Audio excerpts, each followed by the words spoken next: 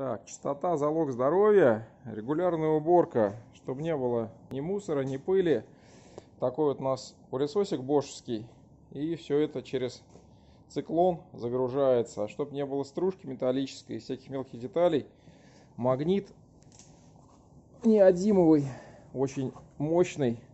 В тряпочку я его заворачиваю, через тряпочку собираю всю стружку всякие там тросики, кусочки и так далее. А потом пылешу, пылесошу, так что будет сейчас чисто и красиво. Такой скромный улов с трех квадратных метров площади. Это вот летит стружка, всякая грязька и пыль. И это надо регулярно, хотя пару раз в неделю убирать.